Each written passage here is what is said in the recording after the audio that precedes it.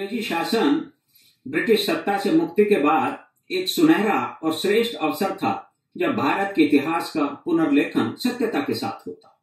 वृहद मानव कल्याण को समर्पित भारतीय राष्ट्रवाद, संस्कृति और अस्मिता के लिए संघर्ष करता तथा देश की स्वाधीनता के लिए सर्वस्व न्यौछावर करने वालों, इसके लिए मर मिटने वालों का देशवासियों से सही परिचय कराने के उद्देश्य से इतिहास रचना होती। है इससे निसंदेह देशवासी, विशेष रूप से युवा वर्ग, राष्ट्रीय मूल्यों व संस्कृति के साथ ही देश की सुरक्षा, सुदृढ़ता और अखंडता के प्रति केवल सचेत ही नहीं रहता, अपितु इस हेतु अधिक अधिक प्रतिबद्ध भी रहता। यह एक विडंबना है कि अंग्रेज़ों से स्वाधीनता के बाद अधिकांश भारतीय इतिहासकारों ने एक उस विचारधारा को, जो मूलतः भारतीय नहीं है, केंद्र में रखकर तथा एक विशेष परिवार के जिसका स्वतंत्रता के बाद केंद्रीय शासन सत्ता पर लंबे समय तक नियंत्रण रहा, गुणगान हेतु इतिहास, लेखन, कार्य किया।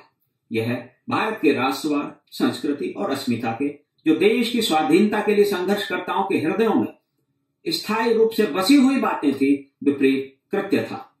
इसी कारण सरदार वल्लभ भाई पटेल जैसे युग पुरुष, राष्ट्र निर्माता और अपने समय के स्वत्वों के सबसे बड़े संरक्षक और पोषक के राष्ट्र के लिए अतुलनीय योगदान का समुचित और वास्तविक परिचय भी देशवासियों से नहीं हुआ।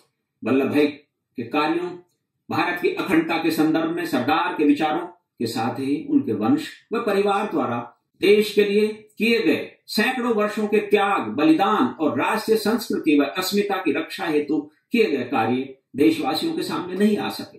देशवासी आज तक भी उन त्याग और बलिदान से भरपूर कार्यों से पूर्णतः अब अनभिज्ञ हैं। वल्लभ भाई, उस लेवा पटेल पाटीदार वंश से आए।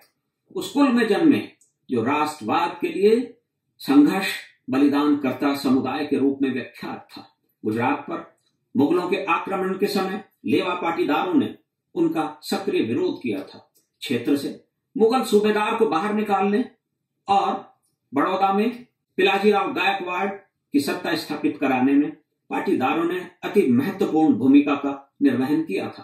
पाटीदारों ने भारतीय संस्कृति के संरक्षणार्थ मराठा सत्ता के सूरत से भी आगे विस्तार के कार्य में सहयोग किया था। वल्लभ भाई पटेल के पिता झवेर भाई गला भाई पटेल वर्ष अठारह सौ सत्तावन के भारतीय स्वतंत्रता संग्राम में भागीदारी करता था। उन्होंने झांसी की रानी वीरांगना लक्ष्मीबाई की ओर से अंग्रेज़ों के विरुद्ध इस संग्राम में भाग लिया था। सरदार वल्लभ भाई पटेल के बड़े भाई विठल भाई, जवेर भाई पटेल, भारतीय स्वाधीनता संग्राम के अग्रिम पंक्ति के नेता थे। वे केंद्रीय विधानसभा के प्रथम भारतीय अध्यक्ष, स्पीकर रहे थे। अपनी कई ऐतिहासिक व्यवस्थाओं से विठल भाई पटेल द्वारा भारत में लोकतांत्रिक व्यवस्थाओं की नींव रखने और उनकी परिपक्वता के लिए जो योगदान दिया गया अतुलनीय है, अनुकरणीय है। विठल भाई पटेल, नेताजी सुभाष चंद्र बोस के राजनीतिक गुरु भी थे। स्वाधीनता के लिए देश में निरंतर संघर्ष के साथ ही विठल भाई पटेल ने भारत की स्वतंत्रता के लिए विदेशों में भी जनमत तैयार करने का उल्लेखनीय कार्य किया था। सरदार पटेल के छोटे भाई काशी भाई झवेर भाई पटेल 1905 ईस्वी में लोकमान्य बाल गंगाधर तिलक के राष्ट्रवाद से प्रभावित होकर स्वदेशी आंदोलन में कूद पड़े। भारत के स्वाधीनता संग्राम में सक्रिय रूप में वे सम्मिलित हो गए थे। वे बाद में महात्मा गांधी के नेतृत्व में हुए सत्याग्रहों में भी भागीदार रहे। वे देश की स्वाधीनता के लिए संघर्षरत रहे। सरदार वल्लभ भाई पटेल की सुपुत्री सुश्री मणिबेन और उनके पुत्र ढैया भाई पटेल दोनों ही स्वाधीनता सेनानी थे।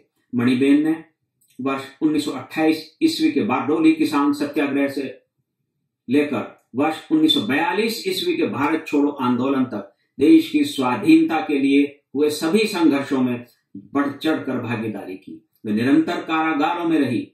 देश की स्वाधीनता के बाद सरदार पटेल के राष्ट्रीय एकता और पुनर्निर्माण के भागीरथ कार्य में मणिबेन हर पल अपने पिता के साथ खड़ी रही। सरदार वल्लभ भाई पटेल का भारतीय स्वाधीनता संग्राम में एक सेनापति के रूप में योगदान, देश की एकता के निर्माण के लिए किया गया अभूतपूर्व कार्य और राष्ट्र की सुरक्षा, समृद्धि और अखंडता के लिए दिया गया दीर्घकालिक और सटीक मंत्र उन्हें एक महान भारतीय के रूप में स्थापित करता है। लेकिन क्या उनके वंशकुल, परिवार और स्वयं सरदार पटेल के महान त्याग, बलिदान और राष्ट्र के प्रति उनकी निष्ठा, राष्ट्रवाद, संस्कृति और मूल्यों के संरक्षण के लिए किए गए कार्यों का वास्तविक और समुचित विश्लेषण किया गया। यही विडंबना है। सरदार पटेल जैसे राष्ट्रवादियों, संस्कृति के संरक्षणकर्ताओं, राष्ट्रीय मूल्यों और देश की अखंडता के लिए मर मिटने वालों के प्रति अन्याय की कहानी है।